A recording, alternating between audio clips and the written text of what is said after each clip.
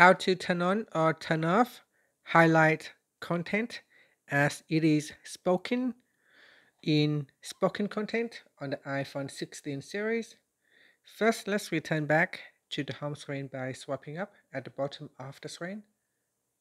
And from the home screen, tap on settings.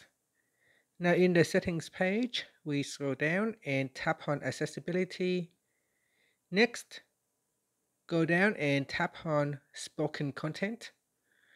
Then tap on highlight content.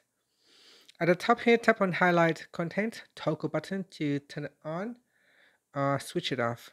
Once it is turned on, you can customize for words, sentences, or words and sentences. You can also customize the sentence highlight style, whether you want to choose underline or background color and highlight colors. So you can set the word color. So you can choose different colors for word color and sentence color. And that's it. After that, you can tap on the back key, uh, swipe up to return back to the home screen. Thank you for watching this video. Please like and subscribe to my channel for more videos.